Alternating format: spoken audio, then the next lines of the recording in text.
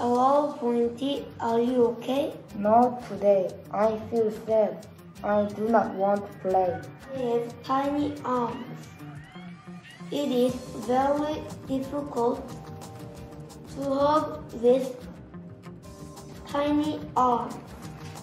Each day I am growing too long for my arms are still tiny. Hugging almost seems impossible.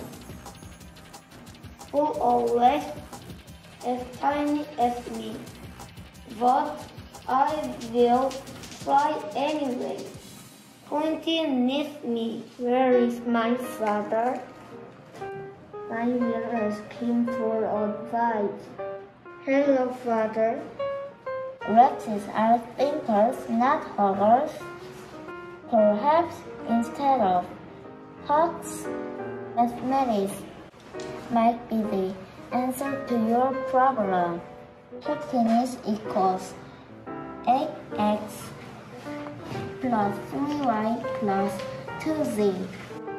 Pointy does not like math. Math will only make Pointy feel worse. Hello, Auntie Junie. I have a problem. I must learn how to hop, but my arms are too tiny. I have found the balance is key to every problem. Balance and fracturing skins cucumber juice. That is disgusting. I will ask my mother for help instead. I have fallen now I am lost. I do not think I will find my mother in here. Hello, mother. It's okay if you can talk tiny. You are good at many other things. You're kind and creative and braver than most. You are tiny, but your heart is big. I cannot hug with, with my heart, mother. I, I must learn to hug with my arms.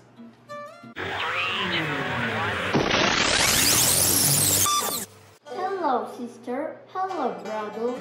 Please help me. Hugging is very difficult. You love to help Tiny to do the impossible. You must plan practice. Thank you, Trixie and Rolly.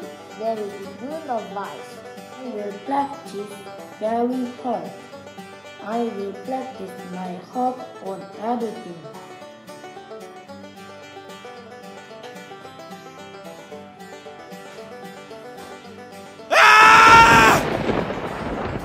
I will not practice on that anymore. I'm almost ready. I will practice on more time.